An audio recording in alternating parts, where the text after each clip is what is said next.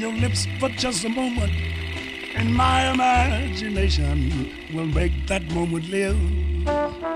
Mm, give me what you alone can give, a kiss to build a dream on. Здравствуйте! Вы смотрите тележурнал «Частности» на канале СТС Курск. Меня зовут Юлия Варшавец, и мы находимся в суши-баре «Абрикосовый кот». Сегодня в выпуске вы увидите На один день в Курск приехали заслуженные артисты России и лауреаты международных конкурсов, чтобы рассказать одну историю любви. Оперету в Курском драмтеатре слушали и смотрели Анна Сухова и Радий Долженков. На концерте каждый из них успевает выступить в составе группы и исполнить два сольных номера. Когда между ними случаются ссоры, на достижение перемирия требуется не больше 20 минут. Как 15 человек уживаются в одном цыганском ансамбле, выясняли Юлия Варшавец и Радий Долженков. В детстве его ругали за чрезмерное увлечение компьютером, но именно это хобби принесло ему популярность и даже небольшой доход. Как стать профессиональным геймером, выясняли Тимур Кузнецов и Антон Судженко. На этом телевизионном канале будут работать ученики целой школы. Об особенностях телевизионных жанров и работе в кадре будущим журналистам рассказали сотрудники СТС Курск. Первая встреча венгерского композитора Имре Кальмана с эмигранткой из Перми Верой Макинской произошла в 1926 году в Берлинском театре «Метрополь». Майстер поинтересовался у девушки, кто она по национальности, и был очень удивлен, услышав в ответ «русская». В следующий раз они встретились через два года в одном из венских кафе, куда Вера, работавшая в то время танцовщицей в баре, приходила в надежде познакомиться с каким-нибудь богатым господином. Девушка, мечтающая о мировой славе, покорила Кальмана. И несмотря на 30-летнюю разницу в возрасте, они поженились. Супруге Кальман посвятил свою оперетту «Фиалка Монмартра». После смерти мужа в 1953 году Вера Кальман учредила фонд памяти композитора и до конца своих дней являлась его председателем. Их история любви стала сюжетом для оперетты «Красотка Кабаре».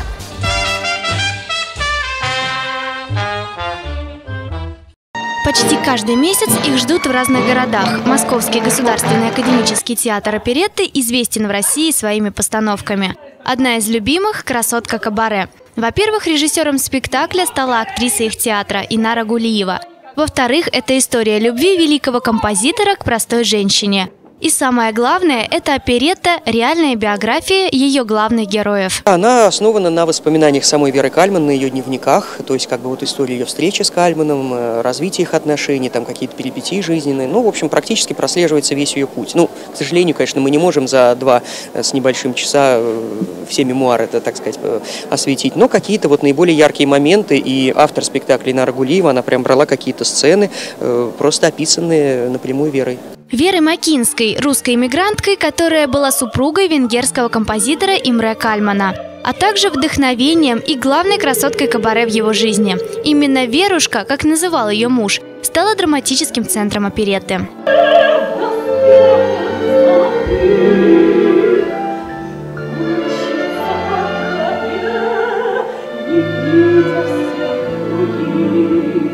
Вместе с другими героями она рассказывает и поет о событиях, которые происходили, кажется, совсем недавно, в 20-40-е годы прошлого века. Спектакль был поставлен несколько лет назад, и, как считают сами артисты, история Веры очень хорошо вписывается в сегодняшние отношения мужчин и женщин. Она очень личная, но одновременно для всех. Не только главные герои имеют своих прототипов. Говорят, что это была реально существующий персонаж. Она была графиня, убежала из дома, это вот то, что было вот когда-то. Потом она перебивалась вот какими-то случайными заработками, мечтала о красивой жизни и э, много раз, раз выходила замуж. В итоге вышла замуж за а, индийского раджу, и он ее убил из ревности. Мой это персонаж, в отличие от других многих персонажей нашего спектакля, он выдуманный. Мой персонаж из э, простого лоботряса, э, такого родительского сыночка, который ну, ведет ветренный образ жизни, он э, становится серьезным мужчином, тут э, мужчина, адмиральский мундир, да. Вот. Э, ну, это довольно условно, конечно, просто как бы красивый мундир, да. Ну, вот. ну, мы решили не скупиться в чинах. На сцене интригующий сюжет, который передают не только монологи и диалоги актеров, но больше сам сама музыка. Музыка, написанная как раз Имре Кальманом для известных оперет. Это арии и дуэты из Сильва, Мистера Икс, Баядера, Фиалок, Манматра. Они вызывают у зрителей серьезные переживания, искренний смех, иронию, сочувствие. И вся эта гамма чувств в одной мелодраматической истории.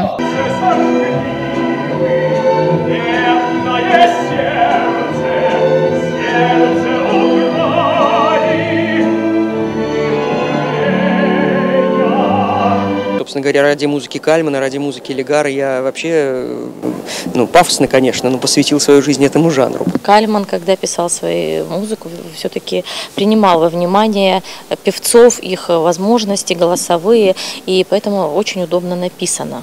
Поэтому мне очень нравится петь Кальман.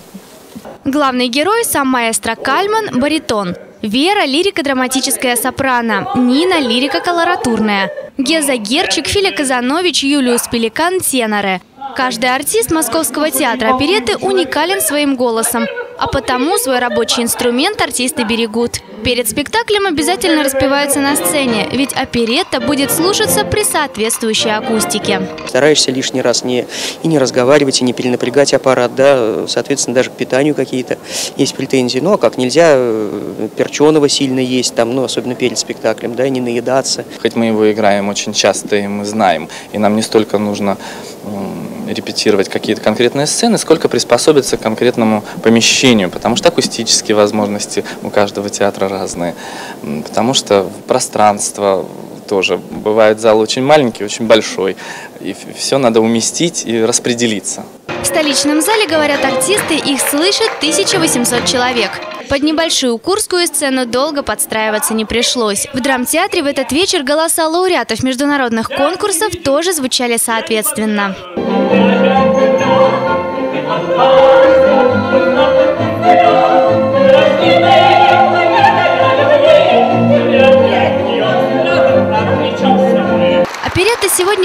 Модный жанр, обделенный вниманием прессы, но, как и раньше, популярен у зрителей. Ведь, по словам самих артистов, это настоящая сказка для взрослых.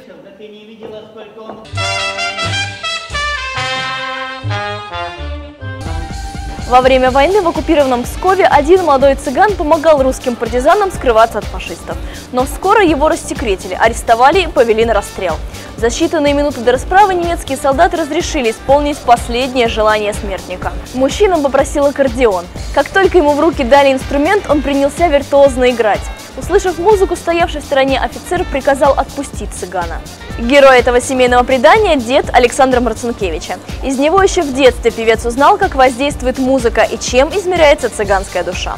Чтобы это понять, нужно родиться цыганом, утверждает артист. А еще можно побывать на концерте группы «Кабриолет».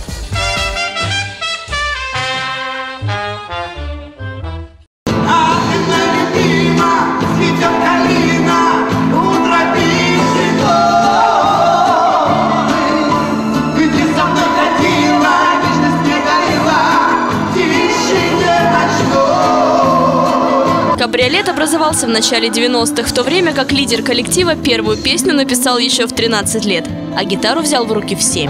Свою тягу к творчеству Александр Марцинкевич объясняет просто – у цыган прирожденная страсть к музыке. Музыку и слова э, пишу для, для, для коллектива я.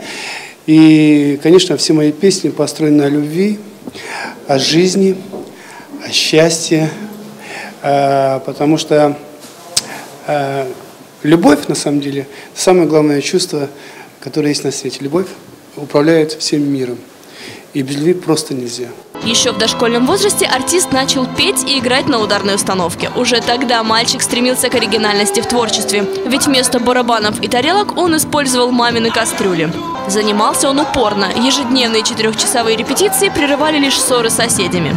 В 12 лет он выиграл городской конкурс юных талантов как единственный барабанщик-самоучка. А еще через год к нему впервые пришла муза. Просто взять, написать песню для меня это невозможно. Должно что-то происходить в душе. Или мне должно быть или слишком хорошо, или слишком плохо. Вот. Э, есть какие-то переживания, у меня рождается песня. Есть какое-то счастье, то, конечно, тоже рождается песня. Именно поэтому, уверен Марцинкевич, в его песнях нет фальши.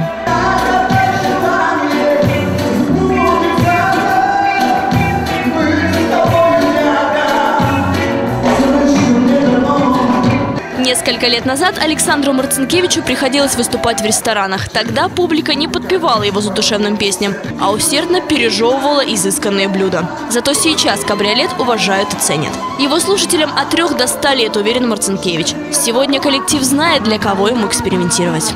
В аранжировках можно делать много смелых экспериментов, но одного не, не отнять – это цыганская жилка, цыганская душа в музыке, цыганская мелодика и манера исполнения, вот, что как бы характерно для Александра и для нашей группы. Мы экспериментируем, мы меняем стили, мы можем играть, допустим, в роке, мы можем играть какие-то восточные вариации. Стиль новых песен зависит от настроения автора меланхоличного и спокойного или веселого и озорного. А порой вдохновение говорит с артистом на иностранном языке. Вот я, э, значит, написал мелодию, и я подбирал слова. Э, Я ее хотел написать на русском языке, да. Но э, что-то вот как-то не получалось, не получалось. Слава услышал эту мелодию, говорит, слушай, Саш, она что-то ближе к итальянскому что-то веет.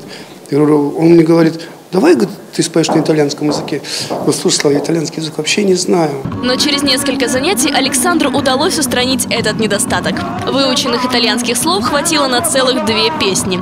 Их сразу полюбила публика, а некоторые поклонники шутили «Челентано отдыхает». Но с курскими зрителями Марцинкевич общался на русском и цыганском. «Это два родных языка», — говорит артист. В нашем городе группа «Кабриолет» презентовала свой свежий альбом «Мелодия любви». Другой темы для Александра Марцинкевича не существует. О своей личной жизни исполнитель не распространяется, зато о творчестве может говорить бесконечно. Быть э, постоянно в поиске и быть всегда на плаву, и держать свою линию и не терять ее. Э, потому что э, если у тебя, у тебя есть э, свое «я», есть своя музыка, это великое счастье, великая радость. Главное не остановиться, главное все время искать, потому что совершенству нет предела, как говорится. И находиться в поиске это очень интересно. Иначе, если бы мы остановились, если бы мы нашли, определили свой стиль, все, это смерть группе. С радостью все 15 участников группы «Кабриолет» ждут отпусков. Правда, они не затягиваются больше, чем на две недели. За это время можно отдохнуть от сцены, набраться сил и вдохновения. В свободное время, на самом деле, э, люблю э, зайти в какое-то тихое место, да, э, покурить кальян. Вот, ну, кстати, вот уже месяц я не курю, потому что я заметил, что начинают связки э, садиться, он действительно влияет очень сильно. Исполнением общей творческой мечты. Чтобы завтра родилась новая песня, через месяц открылся новый стиль, а через год Курск снова встретил кабриолет громкими аплодисментами.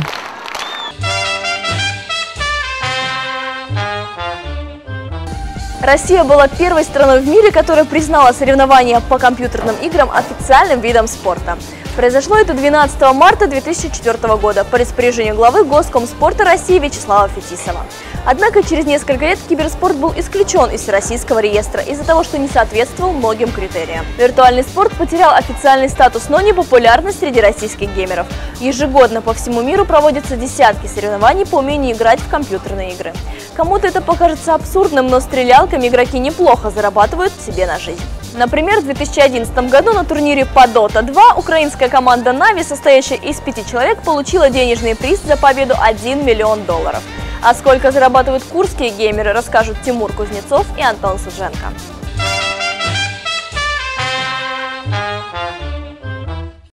Кирилл Простаков – спортсмен, известный не только в Курске, России, но даже в мире. 19-летний юноша – настоящий богатырь. Он регулярно упражняется на беговой дорожке и поднимает гантели. Кстати, на его спортивной карьере такие тренировки не сказываются абсолютно никак. Кирилл Простаков – киберспортсмен. До фестиваля в Антверпене я относилась, ну, занимается ребенок чем-то, ну и хорошо, что занимается, он все время на глазах. Меня устраивало то, что мне не приходилось вечером думать, где он и чем он занимается. Поэтому киберспорту я в определенном смысле благодарна за то, что мы легко прошли переходный период. Как и все мальчишки, в детстве Кирилл проводил большую часть свободного времени за компьютером. С появлением высокоскоростного интернета стал участвовать в небольших онлайн-турнирах по игре, симулирующей боевые действия. Оказалось, что парень настоящий солдат. Хорошая военная виртуальная подготовка свела его с такими же опытными бойцами. Так образовался его первый отряд. Затем последовало повышение в звании. Все были в разных командах, потом как-то кто-то откуда-то уходил, потому что игроки более слабые были, и вот так вот собрались. То есть со временем буквально. Ты сколько? Мы уже вместе играем около двух лет, а до этого играли в разных командах каждый человек. Команда из пяти человек под названием Empire собрана из сильнейших киберспортсменов России. В ней есть и командир, и снайпер. У каждого в виртуальном пространстве свой никнейм. Например, Кирилла Простакова из Курска во всем мире знают как Эйфорию. Роман Ферстов, Ферстов, он из Сочи, у него никнейм Шаркс. А, Слай, Кирилл Маликов, он из Санкт-Петербурга. А, курс а, Саша Калугин, ну, самый тут буквально от пяти минут живет.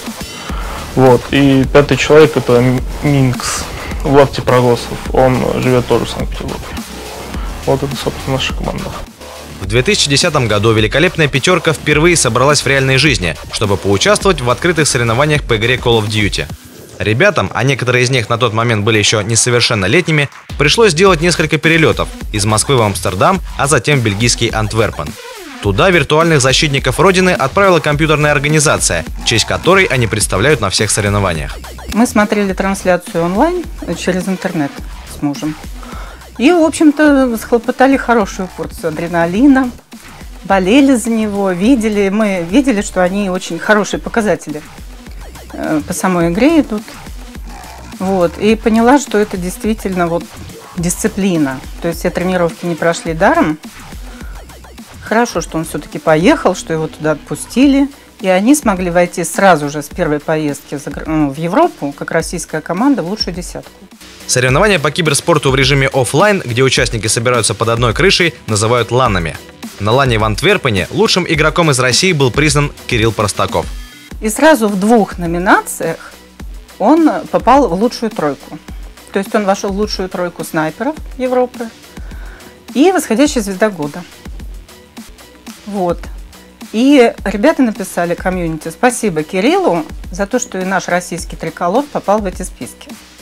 Кирилл настолько популярен в киберпространстве, что его снайперские похождения смонтированы в отдельные клипы, причем людьми из разных уголков мира. Реакция и скорость парня действительно впечатляют. Несколько человек даже попросились в ученики к офицеру Простакову.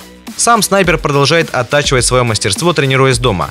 Кроме международных ланов, он участвует в онлайн-соревнованиях. Для этого ему можно даже не выходить из собственной квартиры. Мы сейчас э, не тренируемся, мы сейчас играем только официальные матчи. Э, вот, и каждый знает, когда официальный матч. Ну, то есть время, день. И все собираемся буквально за час, за два, поиграем пару практик, сыграем и начинаем играть официальный матч. В декабре прошлого года команда Empire выступила на международном лане в Хельсинки, где заняла третье место. Символично, что за место на пьедестале в решающей битве наши ребята победили немцев. Пока что это самое высокое достижение русских геймеров. За это киберспортсмены получили не бронзовые медали, а 600 евро призовых. Кроме этого, спонсоры регулярно присылают каждому из них дорогие девайсы – игровые мыши, клавиатуры и наушники. В реальной жизни у Кирилла Простакова все гораздо проще. Он учится в электромеханическом техникуме, а в свободное от учебы и спорта время слушает музыку, смотрит фильмы или играет с любимой кошкой.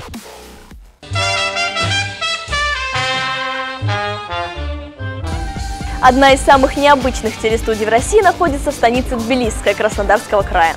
Она расположена на подворье местной жительницы и журналистки Раисы Соболевой.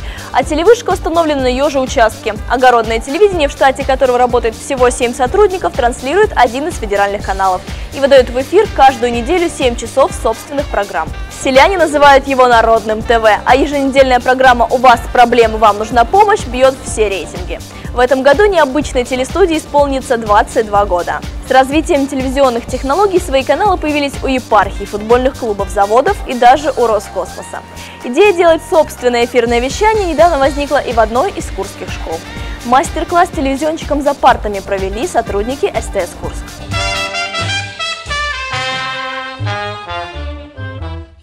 Школа номер 27 носит имя художника Александра Дейнеки.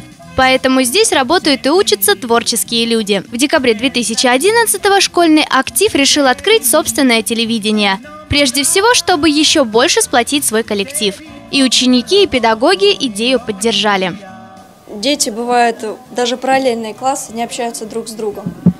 А если будет э, школьное телевидение, то можно узнать и о достижениях других учеников школы, о каких-то событиях, произошедших в классе, там, допустим, день рождения. Будет, э, кто вот не знает о нашей школе, будет интересно снять школу, что находится в школе, э, как эта школа выглядит, э, чему учат в ней, Ну, так вот я считаю, чтобы известно было. К открытию собственного вещания ученики и педагоги подошли ответственно. Изучить основные законы телевидения решили вместе с сотрудниками СТС Курск. На творческий урок в актовом зале пришли ученики 6 и 10 классов. Это представители двух школьных организаций – «Младший спектр» и «Старший Next». Ребята слушали, как искать темы для своих сюжетов, готовить вопросы к интервью. Для некоторых это было особенно актуально. Они уже заняты в работе школьного пресс-центра. У меня уже были некоторые задания, про что надо знать, и в субботу я буду это все обрабатывать. Там Миша Зарипов, он спортсмен, у него очень много там грамот, медалей, и у него меня попросили брать тоже интервью. Секреты удачного и информативного интервью раскрыла журналист Анна Сухова. Как сделать сюжет динамичным, рассказала главный редактор Алина Верютина. Она же познакомила учеников с телевизионной терминологией на микрофон, этот текст отдельно записывается, а потом совмещается с той картинкой, которую вы сняли, на монтаже. И идут они в сюжете одновременно. Ученики смогли не только услышать, что такое телевидение, но и побывать в роли настоящих корреспондентов и операторов. Потренироваться правильно закреплять радиомикрофон, настраивать камеру, смотреть в объектив. Кстати, пришлись советы профессионального оператора. Если журналист спрашивает, там, скажите какие-нибудь ваши мечты или что-нибудь такое сокровенное, вот тут всегда срабатывает, когда по плечи самый крупный, потому что видно глаза человека, который говорит, э, его эмоции. Творческая группа любого телеканала – это журналист, оператор, редактор и монтажер. Участвовать в школьном телевидении сможет любой желающий, вместе с постоянной группой активистов. Штат есть, в него пока что входят три человека. Есть оборудование нужно, поэтому уже в ближайшее время хотим внедрить телевидение. В первую очередь, конечно, оповещать наших учеников о том, какие мероприятия будут проводиться в ближайшее время. Ну и, конечно, какая-то полезная информация для наших учителей и родителей. Снимать свои сюжеты ученики будут пока на любительскую видеокамеру, монтировать в компьютерных классах после уроков – Вместе с учителем ребята уже сделали логотип для своего канала 27 ТВ. На дополнительных занятиях по основам компьютерной грамотности осваивают основы монтажа. Вот сейчас э, Анна Александровна вместе с помощниками делает фильм ко Дню Святого Валентина. То есть как поздравление. То есть там будет видеоряд, там будет музыка, и там обязательно будет эмблема нашего школьного телевидения. Эфирная сетка вещания еще уточняется. В школе даже проходит конкурс на идеи для местного телевидения – Ребята изучают программы центральных и местных каналов. Особенно, говорят они, нравятся краеведческие и образовательные передачи. Первые самостоятельные шаги уже тоже сделаны. Для ежегодного фестиваля искусств ученики 6 В подготовили фильм о героях войны. былых времен не осталось порой имен. Те, кто приняли смертный бой, стали просто землей, травой. Снимали мы друг друга по очереди, когда общий, мы вдвоем были в камере, снимал, помогал отец. Мы опирались на то, что вот находили каких-то героев войны и э, рассказывали именно о них, какую, какой вклад они внесли вот в войну, что они сделали для победы. Мастер-класс от СТС Курск стал для учеников наглядным пособием, так что после уроков можно будет заняться подготовкой первой программы.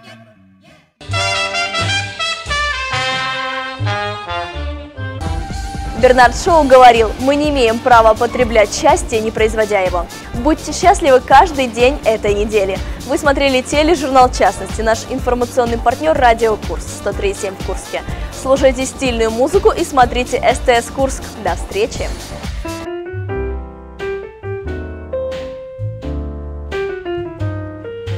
Give me a kiss to build a dream on in my imagination. Will thrive upon that kiss. Mm, sweetheart, I ask no more than this. A kiss to build a dream on. Mm. Give me a kiss before you leave me in my imagination.